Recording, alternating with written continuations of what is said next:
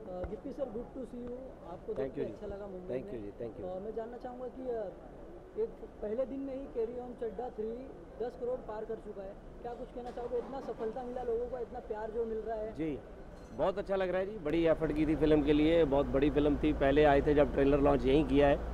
तो इतनी बड़ी फिगर कभी पंजाबी फ़िल्म की आई नहीं है। सो सारे रिकॉर्ड्स थे जो सब टूट फूट गए हैं इस फ़िल्म से।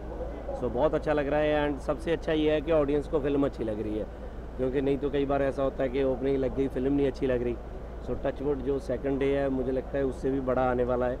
तो जो वीकेंड है हमने सोचा ही नहीं था कि इस लेवल पे जाएगा। पूरी टीम बहुत खुश है जी। सो और साथ ही ये भी सुनने में आ रहा है कि आप बिग बॉस में जाने वाले हो सलमान भाई से मुलाकात होने वाली है जी जी जी जी। बिल्कुल जी आज उसी के लिए आए हैं। बिल्कुल उनसे मुलाकात होने वाली है। मैं बहुत साल पहले यहाँ किसी फ़िल्म की शूटिंग के लिए आए थे। दस ग्यारह की बात है, मैं और दिलजीत। तो तब एक बार सलमान भाई को मिले थे, फ़ोटो करवाई थी हमने। तो उसके बाद कभी मिला नहीं मैं उनसे।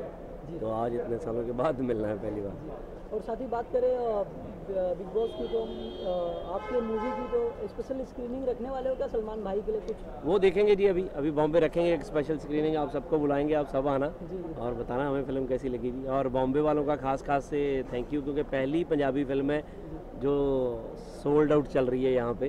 सो आई एम सो हैप्पी साथ ही जाते जाते फैंस के बारे में क्या कहना चाहोगे? जो कैरी ऑन चड्डा को थ्री पहला दूसरा तीसरा तीनों को प्यार दिए उनको कहना चाहते हैं कि उन्हीं की वजह से हैं हम। सो फैंस ही हैं जो हमें यहाँ तक लेके आते हैं। उन्हीं की वजह से फ़िल्में हिट जा रही हैं।